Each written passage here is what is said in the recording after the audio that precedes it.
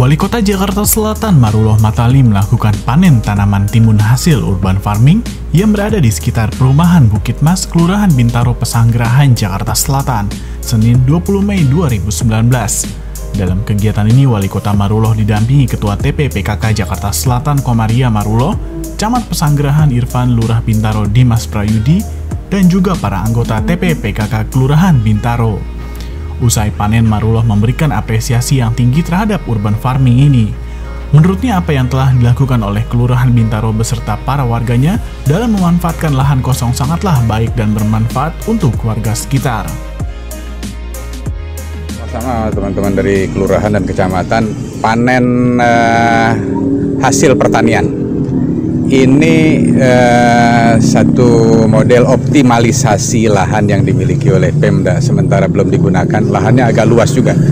Saya kira hampir ada sekitar satu hektaran gitu ya jadi ini saya melihat teman-teman secara kreatif dapat menanam ada yang ditanam jagung kemudian ada ditanam eh, timun kemudian kacang tanah ada juga ditanam eh, apa namanya bibit-bibit pertanian yang lain saya mengapresiasi apa yang saya mengapresiasi apa yang dilakukan oleh teman-teman di kelurahan dan disupport oleh teman-teman dari kecamatan serta dari sektoral yang mensupport ini.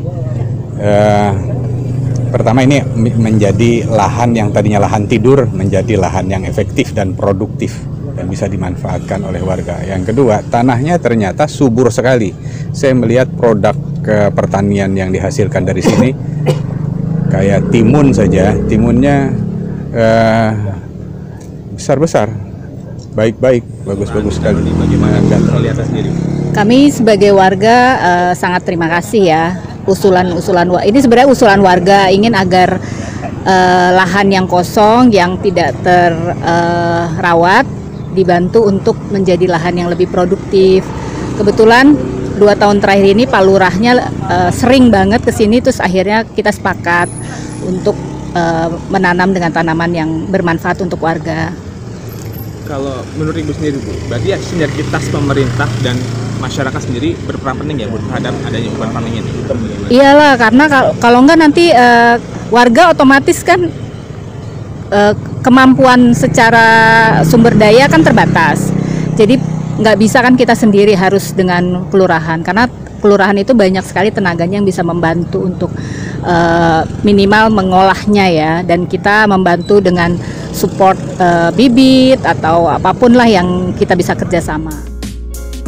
Tim Liputan Kominfotik Jakarta Selatan melaporkan.